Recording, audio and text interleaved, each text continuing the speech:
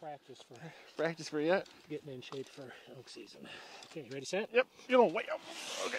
Oh man, he knows how to do that. Okay, got her. that ain't light, man. So we're in the Grasshopper Valley uh, near Dillon, Montana, doing a fence removal project to uh, benefit uh, mostly pronghorn antelope uh, migration corridors and also just make this area a little more big game friendly in terms of uh, fencing and, and, migration corridors and habitat and stuff like that. So we've pulled uh, about three miles of fencing so far and we're just finishing up. And uh, we've got a lot of really motivated volunteers and hard workers and um, some good guidance from uh, the National Wildlife Federation and it's been a great project and uh, had good weather and yeah,